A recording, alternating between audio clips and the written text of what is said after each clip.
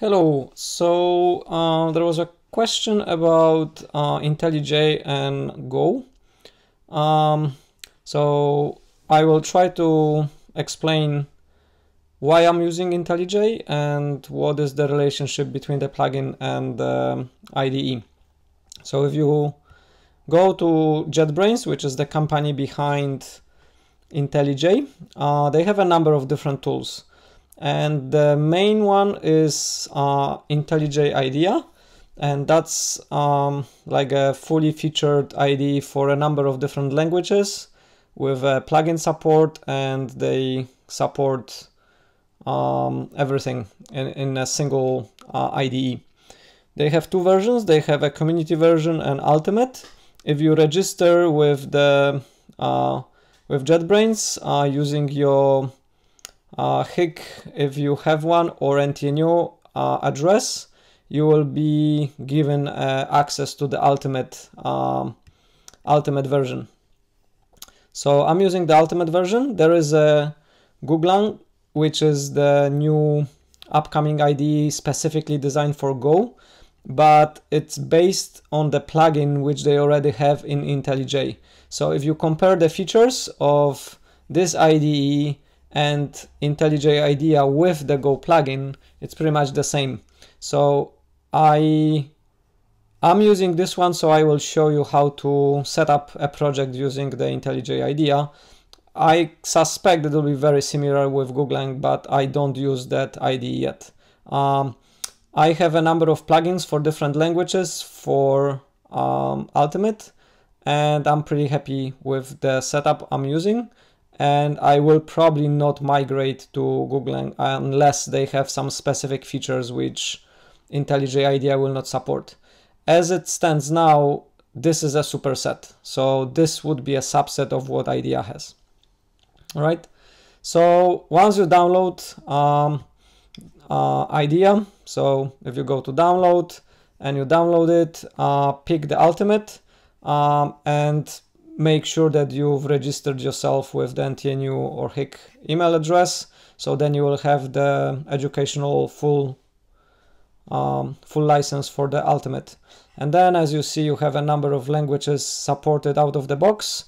Plus you can set up your um, you can set up your plugins. So if I go to IntelliJ IDEA, um, I have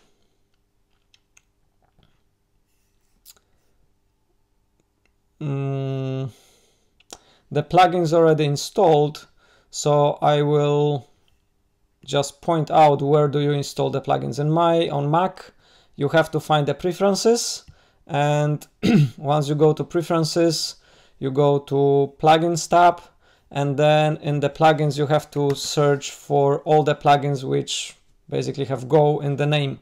So there is a default Go plugin, there is a Golang plugin, which um, I also have installed, and there is a Google App Engine integration, which is not specific for Go, but just for Google App Engine, and I have installed that as well. So the two plugins for Go is the Golang plugin and the Go default Go plugin.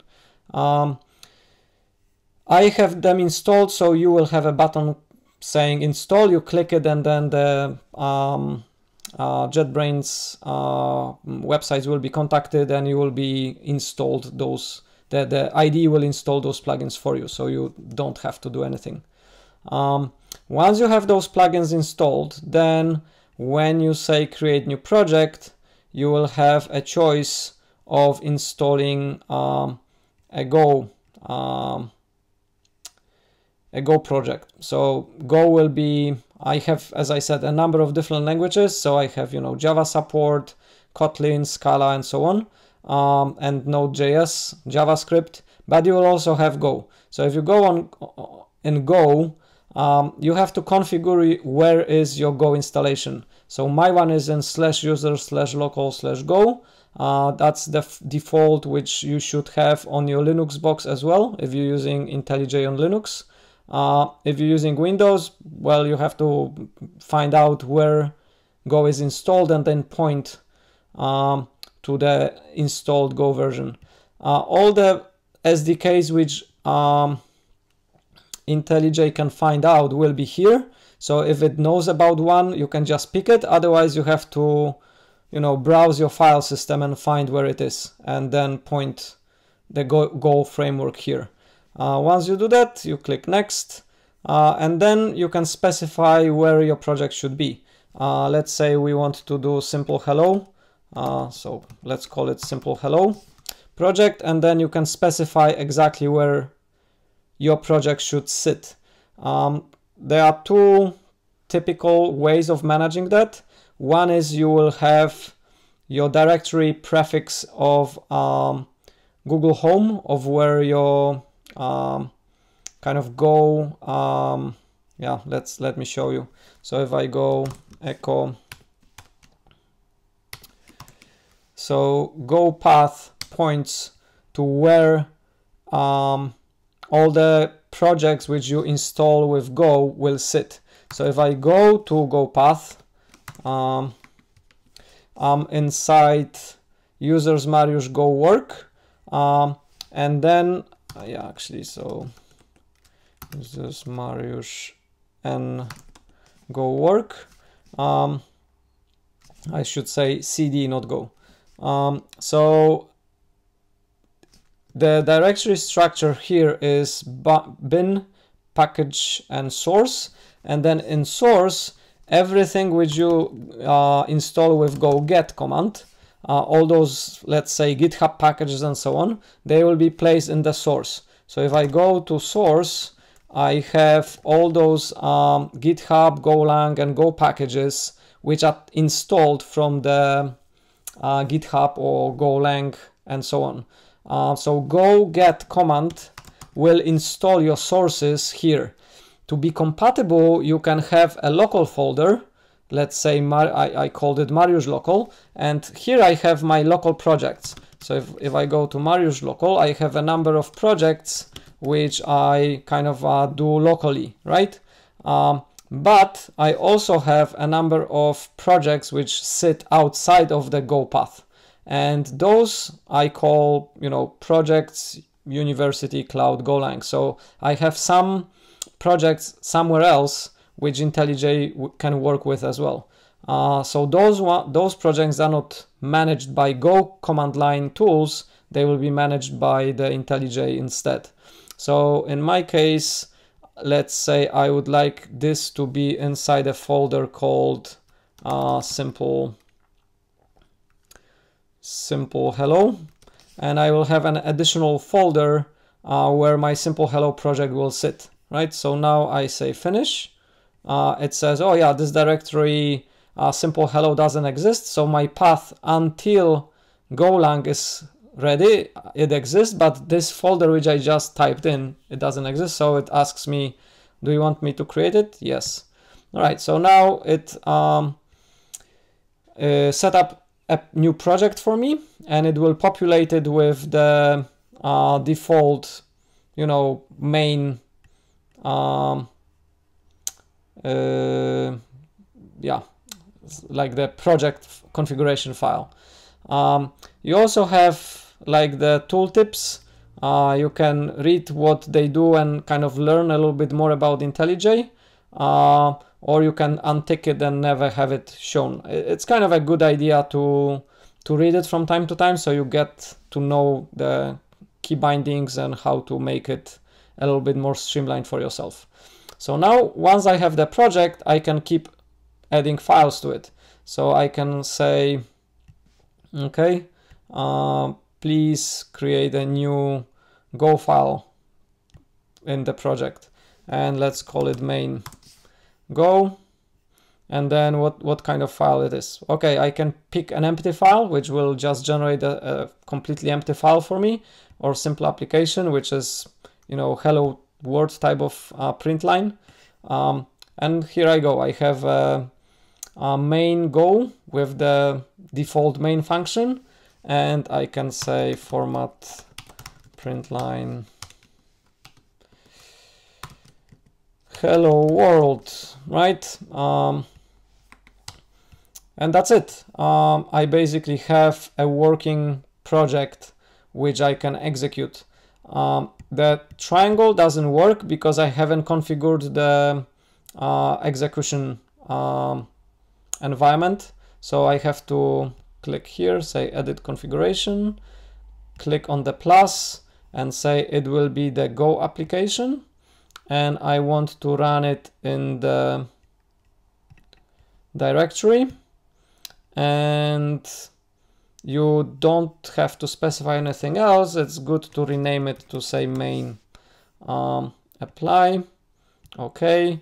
And just for fun, let's write one extra function. So let's write function add, which takes a, which is and which takes a and b, which are integers, and returns um, an integer.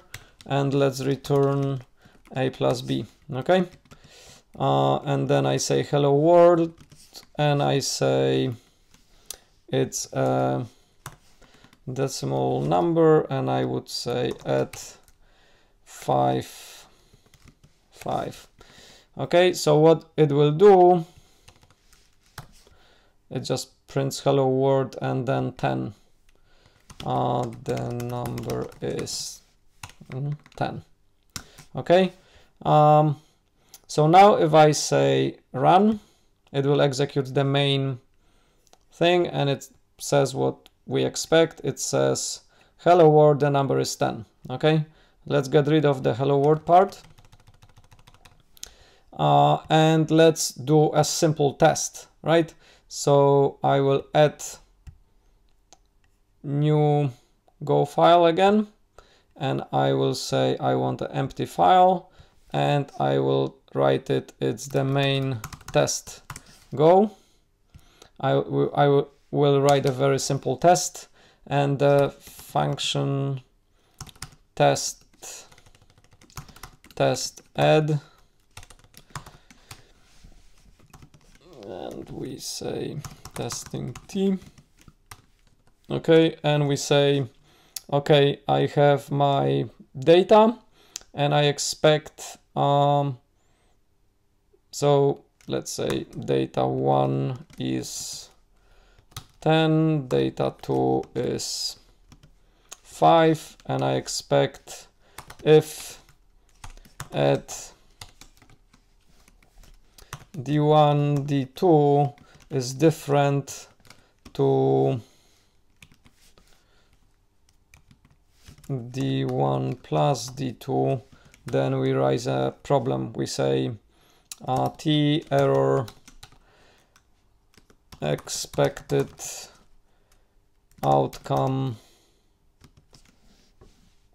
D got d.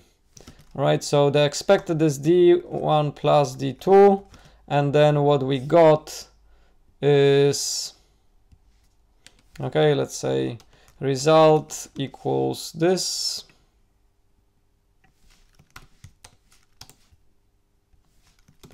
if result is different then d1 plus d2 we complain and it will basically uh, throw a throw a problem um, Okay, so now how do I run the test? Again, I have to go to configurations, edit configuration, and now I will add go test.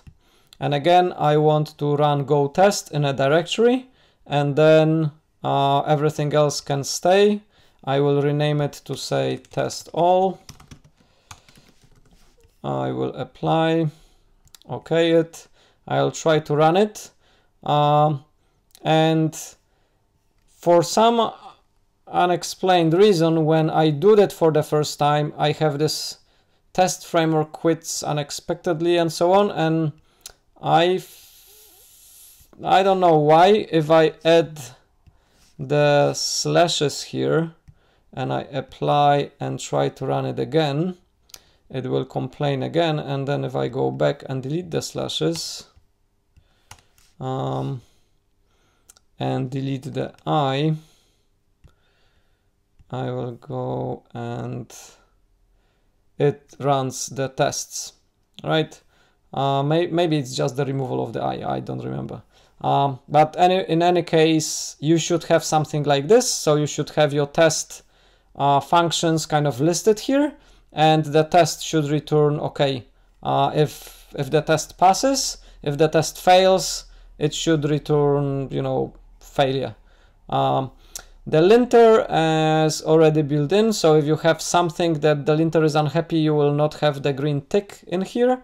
Uh, and you can learn more advanced features, you know, as you as you progress. But at least you can um, add new files, reorganize your IDE, and kind of keep keep using it.